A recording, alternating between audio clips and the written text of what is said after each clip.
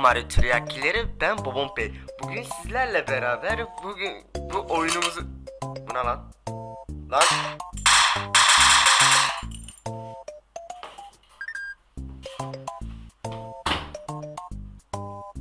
Neyse en azından Malta'ya sürmeme gerek kalmadı. Selam Mario Tiryakilere ben Babam Bey. Bugün bir istek videosuyla karşınızdayız.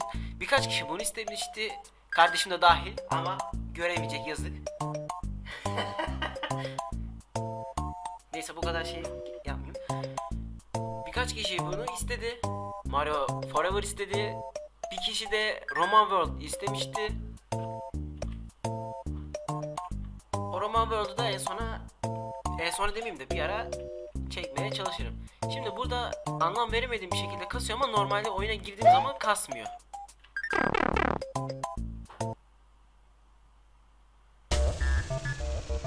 Dünyanın kendisi bu. Tabii en sevdiğim fan yapımı oyunlarından bir tanesi de bu. Bu arada fan yapımının ne demek olduğunu da açıklayayım. Fan yapımı demek Bu arada fan yapımı demek şurada da bir tane o bilmeyenler için söyleyeyim şurada gizli yer var.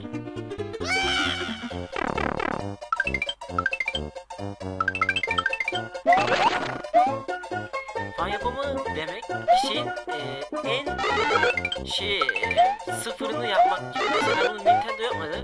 Kod yapmayı bilen, bir, bilen biri yapmış.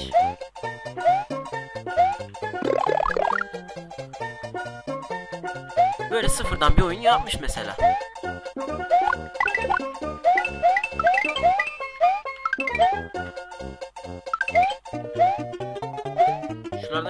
Var mıydı ya? Bana mı öyle geliyor?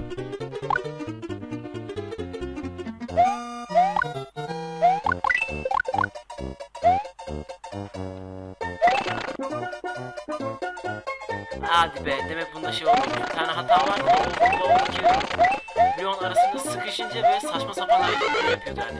Bildiğimiz e, yani sizin bug diye tabir ettiğiniz o olay.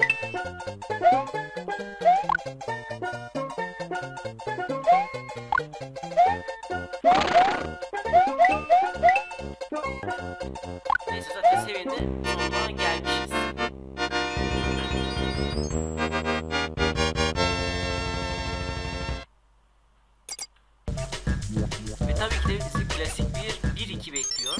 Yeraltılı.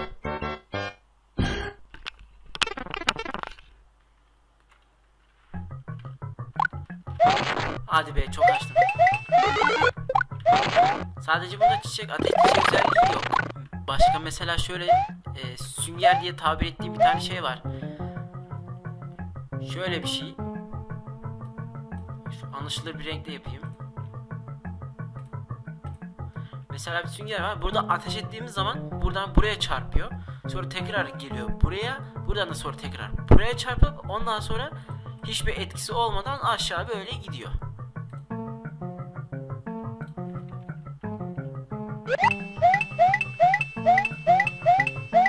Sonra sadece zıplama, koşma ve ateş etme tuşları var. Havada dönme, havada böyle vurup geberiyordum aslında. Zıplayıp da yere vurma gibi özellikleri bunda yok maalesef.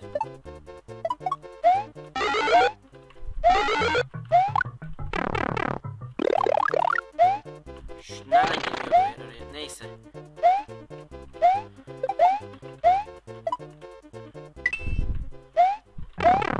Ya oğlum ucu ucuna mı? Neyse anam neyse.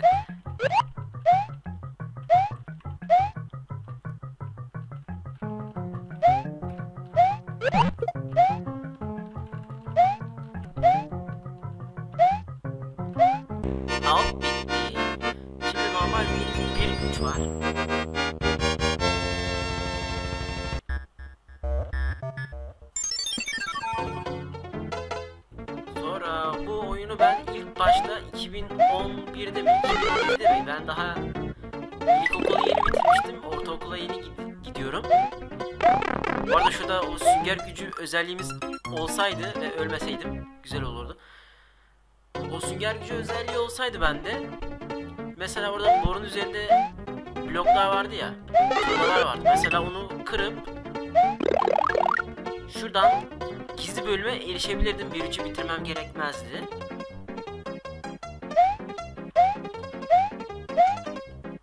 Sonra buna kontrol noktası ek eklemişler. Yani bunu ilk oyuna aldığın zaman böyle bir özelliği yoktu. Yani en sonuna doğru bile mesela bu yoktu. Ya atıyorum burada öldüm ya. Buradan atlasam kaldığım yerden devam ederim ama yoktu yani ilk oynadığım zamanlar tabi geliştirilmemiş haliyle. Hatayı gördünüz değil mi? Güzel.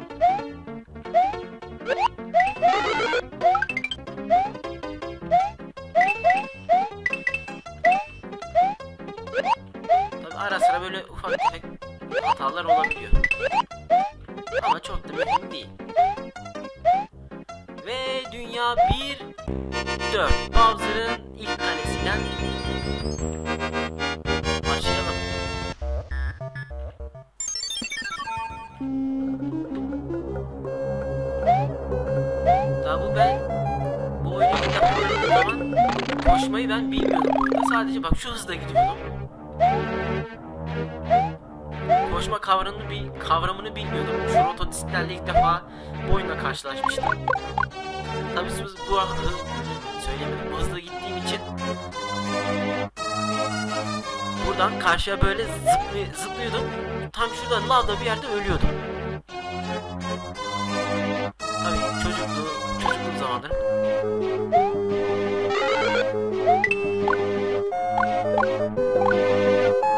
Fazla ateş topu yok. Maalesef.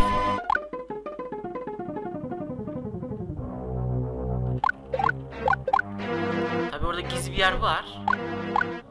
Oradan nereden bir yer. Tamam.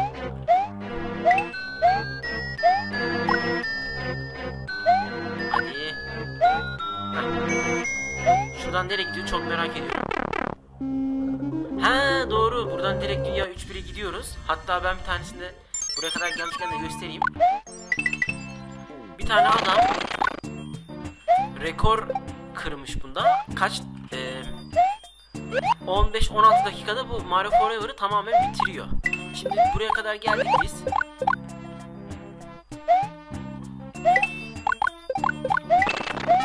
Tabii başka sıkıntılarımdan bir tanesi de şu sürekli trambolinin üzerine yaptığım zaman bu böyle zıpladığımı algılamayıp direkt beni uçuruma aşağı atması. Burada sanırım bir hata olmuş burada bu oyunda. Daha yerin içinden geçmiş.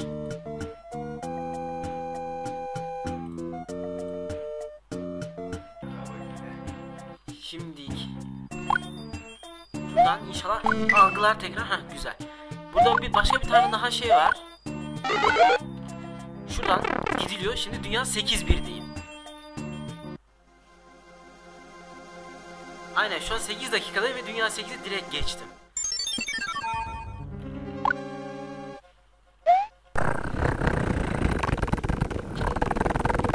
Başka daha söyleyeceğim şey. Ben bu oyundaki Dünya 8-3'ten çocukluğumdan kalan bir şey yüzünden hala korkuyorum. Ben de bilmiyorum. Ah be.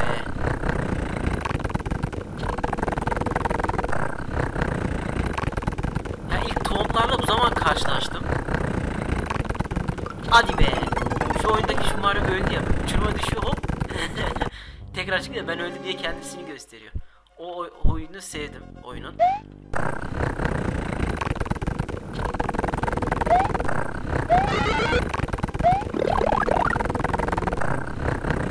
Bu arada bu özellik sadece şu hareket eden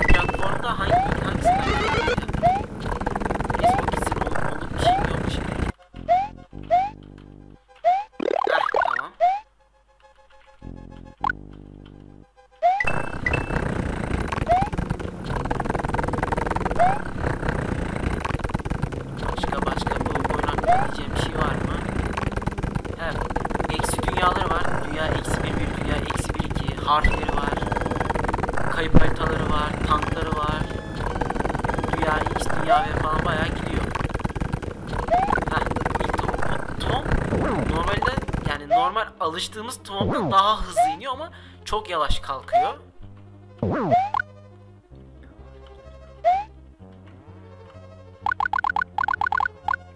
Tabi gelene kadar herhalde biz bayağı geçer.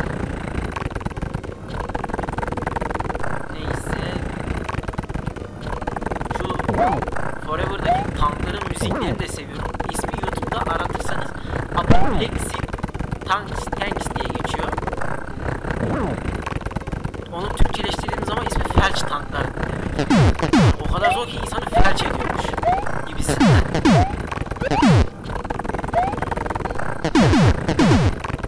Hoppa tamam bu bölüm de bitti. Şimdi en sevdiğim bölüm.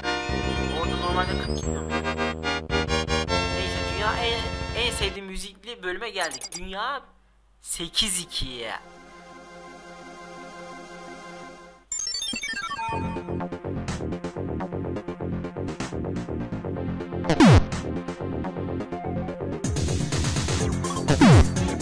Burada şöyle bir şey ben bulmuştum daha önce. Şuradan. Hmm, demek bunda işe yaramıyor. Ben bir tanesi bir kere daha önce keşfetmiştim. Tankın önünde duruyoruz. Normal bizim üzerimizden geçip gidiyordu. Ama demek bundan kaldırmışlar bu.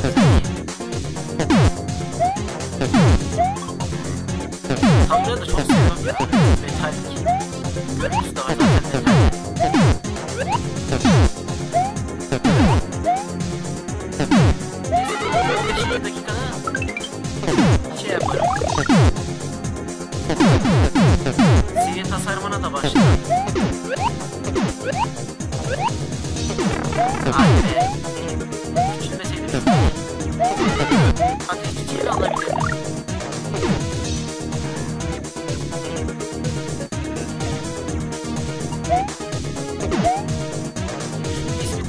ne bilmiyorum ama ben kendim buna tester atar diye adlandırdım. Şuradakiler hızlı robotikler zaten.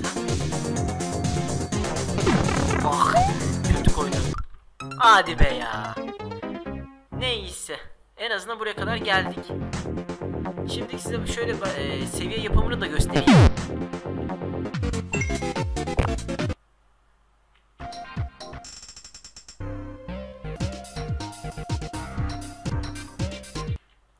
Tamam. Şimdi biz buraya kadar geldik. Önce burada Make Edit diyor. Ee, harita yapımı yoktu. Ben bunu daha önce indirdiğim zaman demek gelmiş yeni bölümlerle. Bu güzel bir durum. Sonra make a level sıfırdan yeni bir seviye yapacağız şimdi. Burada element diyor. İşte bloklar, normal bildiğimiz bloklar. Köprü möprü falan. Gri daha koyu. Çöl tarzı. Ne güzel. Bu arada bloklardan başka ha şunlardan da var.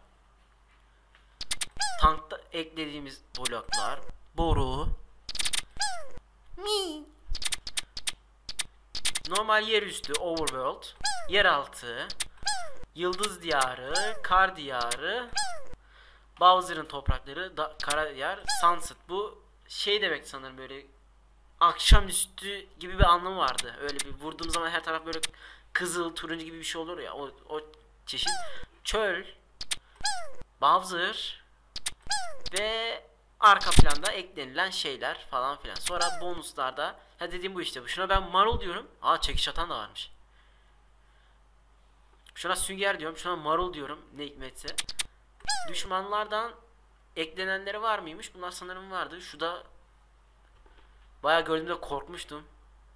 Kanman falan. Şimdi kan tutmuyor gerçi. Hazard. Bunu hep görüyorum da bu Türkçesi neymiş bunu ben çok merak ettim şu an. Tehlike demekmiş. Tamam bu normal yanardağ bunu biliyorsunuz. Şunlar lavatar diye adlandırdım. Gerçeğini bilmiyorum. Tom falan. Öğeler. Ha güzel. Patronlarda zaten bir tane var o da Bowser. İnsanlar. İyi ya güzelmiş. Neyse şimdi biz ben şimdi tank tasarımı yapacağım şimdi biraz. Ee, önce buradan seviye ayarları, dünya ne diyelim biz buna? Deneme tank falan filan. Ya da bobom tankları da diyebilirim.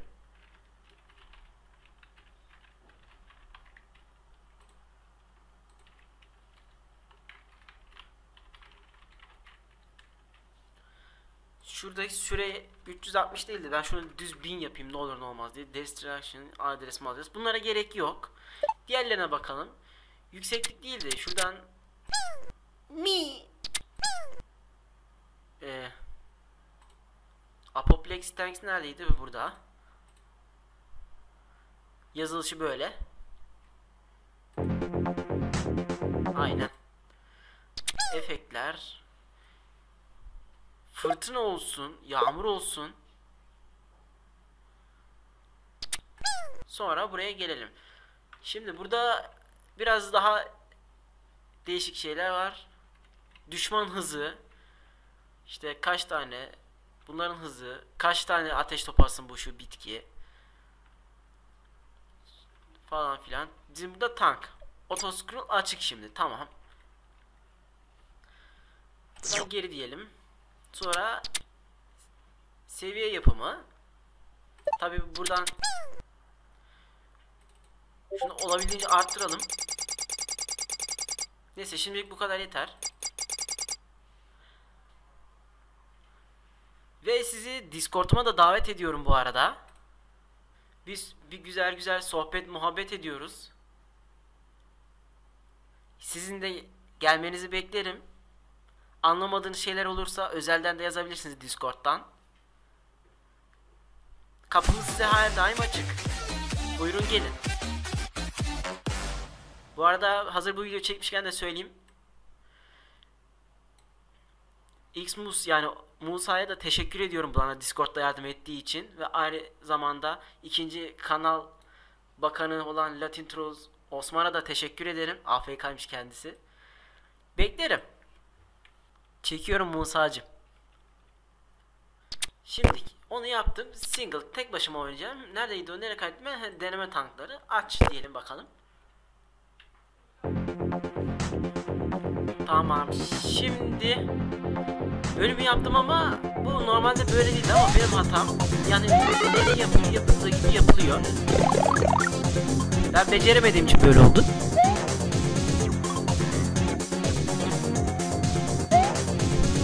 Geldiğince böyle bir şeyler yapmaya çalıştım.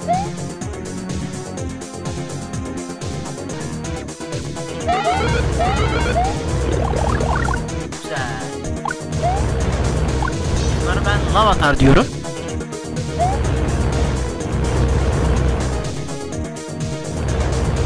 Normalde bizim yerimizde sabit durması tankların bize doğru gelmesi lazım normalde ama ben beceremediğim için böyle oldu maalesef.